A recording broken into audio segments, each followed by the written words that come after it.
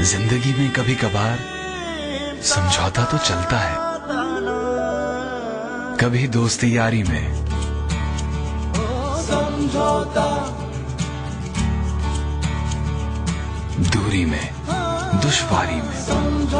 लेकिन हर चीज़ पे कवरेज है तो रेट्स नहीं। रेट्स हैं तो सिग्नल नहीं। समझौता। सही वक्त नहीं।